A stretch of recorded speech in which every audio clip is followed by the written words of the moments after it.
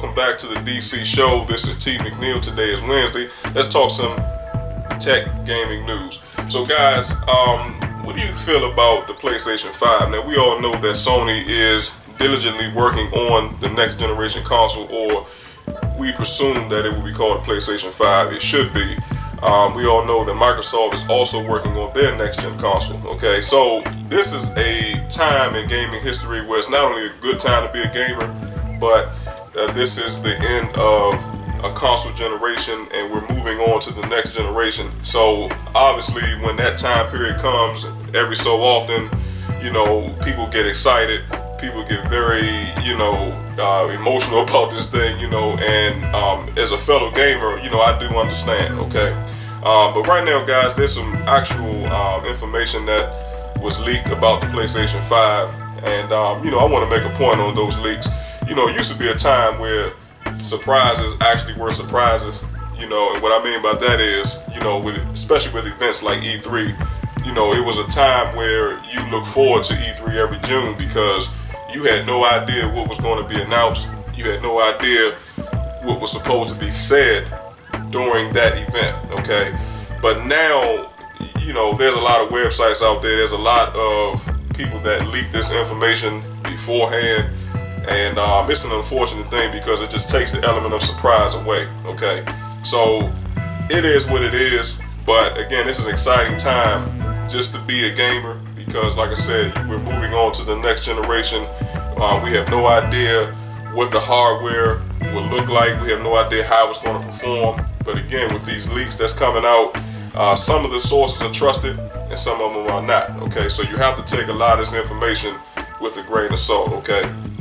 Now, um, this information, guys, is actually from um, Engadget and that is the uh, site right there where uh, this information. Now, Engadget is actually a trusted source.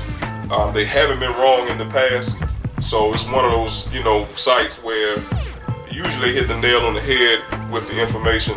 So what, we'll do today, we'll go over some of the leaks and some of the next generation um, information that's supposed to be included within the PlayStation 5 console. All right.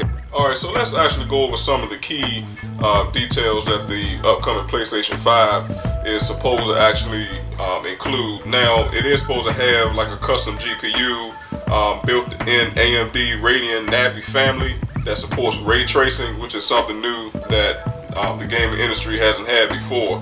Um, it does have advanced lighting techniques uh, that high-end gaming PCs, and that's the only thing that, that that's actually reserved for um, immersive 3D audio, and also it's supposed to support 8K graphics, and it will ship with a solid state drive. So those are obviously key high-end details uh, that the PlayStation 5 is supposed to actually come with.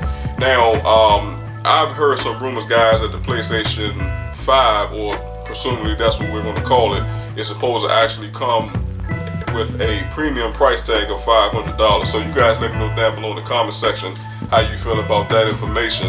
Um, and I'm only asking because if you guys remember back in 2006 when the um, original PlayStation 3 actually launched, that bad boy was roughly about $600, okay? And I remember thinking to myself back then just how incredibly that exp- you know expensive that console was at the time. And then we fast forward to today's uh, custom chips and GPUs, you know, it pretty much crushes the PS3 hands down. Okay, so you know, a lot of people were actually complaining about that premium price back then. I think a lot of the gaming companies nowadays they learn from their mistakes. They're not going to price a console that high anymore. Um, the Xbox One X did officially launch at $500, and then the um, original PS4 and the OG Xbox One launched at 400. Okay, and well, one was five, one was four. So you know, uh, I don't think we're ever going to see that type of price tag again. But you know, keep in mind, guys, these companies are putting in a lot of technology into these boxes, and they're trying to, you know, uh, keep it at a certain consumer-friendly price. So then that way, you know, a lot of people aren't having to really shell out too much money. Because if that was the case, you know, we'll be paying well over thousand dollars for a lot of these consoles that's coming out, especially with you know this type of technology. Okay, but um, other than that, guys, let's actually get into some more information besides the uh, facts that I told you guys. Now, um, it does say that the new system will have similar architecture to the PS4. It will therefore be backwards compatible with PS4 games and support the current PlayStation VR headset. Sony stopped short of confirming a new headset or any of the services that will be available on the console. Now, he did state that it will accept physical media just like the PlayStation 4 and PlayStation 4 Pro. Uh, Microsoft, meanwhile, is reportedly working on a cheaper diskless version of an Xbox One S console. Furthermore, most of the details won't be a huge surprise. They're safe, logical choices for Sony, which makes sense given how successful the PS4 has been for the company. And, and that's a really good statement to make, guys. You know, the PlayStation 4 obviously has sold well over 86 million units, so it has completely crushed the PlayStation 3 sales. It has toppled the PlayStation 1 sales, and if I'm not mistaken, it actually has become really close to actually uh, outselling the PlayStation 2. Okay, so this is Sony's moneymaker, and the PlayStation brand is where Sony shines the most. Okay, I mean they are a consumer giant company that do make uh, camcorders, they make cell phones and smartphones, they make uh, smart TVs. You know, they still have other uh, accessories. Period. But like I said, the money maker is in the gaming industry. Okay, and Sony knows that, and that's the reason why um, the PlayStation brand will continue. Okay.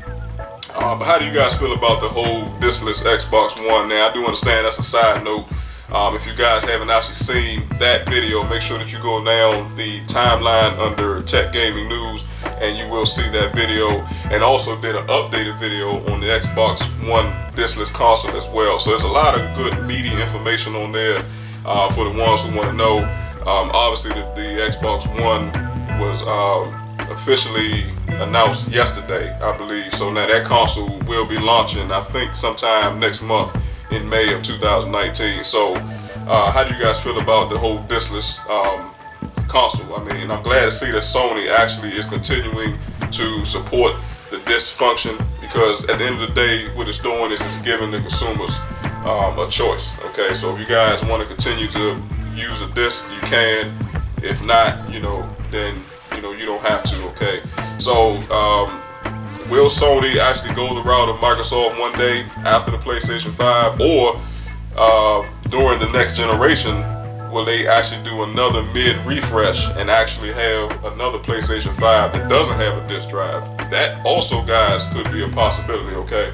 So I would not take that away from either Microsoft or Sony even though Microsoft is already doing that. Sony again possibly could do that but let's just you know take that as, with a grain of salt for right now. Um, lastly, guys, it does say that we have no idea when Sony will talk about PlayStation 5 or whatever it's eventually called. Again, last year, Kotaku reported that the new console may not arrive until 2020. Then the company announced that it won't be attending E3, the industry's largest and prestigious trade show. When the console does arrive, it'll face fierce competition from Microsoft and the growing number of streaming services, including Google Stadia, that promises high fidelity gaming without the expensive hardware. So, how do you guys feel about um, Sony not actually attending E3 of 2019? You know, I think this is the first time, period, that Sony's actually done this, but I think strategically, it's a good move, and I only say that because uh, Sony right now, in my opinion, I think they need to focus on getting that PlayStation 5 out the door, okay? Um, especially when we have games like um, Ghost of Tsushima, once again, you know, Death Stranding, uh, Days Gone, you know, like I said, that releases on um, April the 26th this month. So these games haven't even hit the market yet. So it's going to be one of those things where, again, they're going to have to just focus on the next gen. And I think they're going to take this year off to do just that. Okay, um, I know Sony's definitely going to want to get their presentation right. They're going to want to uh, put the right information out, so to speak, in midst of all the rumors that's going around about the PlayStation 5. And I know Sony's heard all the rumors, I'm sure. Um, I do believe that some of those rumors will actually be confirmed. So definitely stay tuned because it's like I said, it's an exciting time to be a gamer and uh, 2020 obviously can't come fast enough. And then again, you know, Sony could possibly you know, do their own event like they normally do at the end of the year uh, anyway. But I do have a feeling that E3 2020 will be when Sony will be back. Uh, they'll have their own setup like they always do, and then they're just going to blow everybody away. Okay, and then also, guys, you know, keep in mind too that Sony has nothing to show at E3. Okay, um, the only thing that they probably could show, even if they did attend E3 2019, is what the rest of Death Stranding, um, maybe some updated footage on Ghost of Tsushima, and some updated footage on The Last of Us. Other than other than that, they just don't have anything else to show. Okay, so you always got to keep that in mind as well. Okay, um, other I mean, there's no other accessories out. You know, the PlayStation VR is already out. They possibly could show the 3D rudder, you know, in real time. But other than that, it's not enough information and enough content, in my personal opinion, to warrant them for an entire show. Okay, so that's the reason why I believe, or the reasons why uh, Sony's actually not going to be attending E3 of 2019. Um, and lastly, guys, how do you feel about Google Stadia? I actually never did a separate video on that, but I did read on a little bit of the information. Uh, I'm not really interested in that myself. You know, the cloud-based gaming, I understand it, and I do know that that is the future of gaming. You know, unfortunately, you know, because I'm just one of those old school gamers, I like to have the physical console like I've had for the past 30 plus years of my life. I've always had the physical console there, uh, being able to look at it, being able to touch it, being able to, you know, swap out hard drives and, you know, be able to customize it and, and do different things to it. So um, with Google Stadia, they're trying to get rid of all of that. And now we're talking about uh, possibly international servers, okay, all around the world. And, you know, what do we know about servers, guys? They're tied to computers, servers, the internet, and it has a tendency to crash. It has a tendency to, you know, get hacked and be into the wrong hands. Okay, so think about that. If all the information is in the cloud, and then those services get hacked or something terrible happens with it, um, what happens to all of your data? Okay, or again, it could be a data breach, and then all your data is out there in the black market and on the dark web for everybody that's a hacker to get their hands on, and then they're going to do damage to, you know, your personal information, okay, and your identity, okay. So, you know, these are some of the things that I think about when it when it comes to, um, you know, this cloud-based gaming, okay. And that's not to say that that same thing can't happen with Microsoft and Sony, but you know, it is what it is. So, like I said, you guys let me know um, how you feel about that information. Uh, obviously, the PlayStation 5 hasn't been officially announced. Um, again, that price point, I don't know, it could be $500. Uh, but again, you know, it's a premium price. And, you know, like a coworker always says to me, you gotta pay to play. you know, and that's what it is. All right. So again, you guys let me know, you know, down below in the comment section how you guys feel, and also will you be getting the PlayStation 5 on day one, or you guys going to actually wait, keep your PlayStation 4s? Me personally, I'll probably be uh, one of the first people in line with my PlayStation 4 tucked in my armpit, and I'll be ready for the next gen as soon as it's ready for everybody else. All right.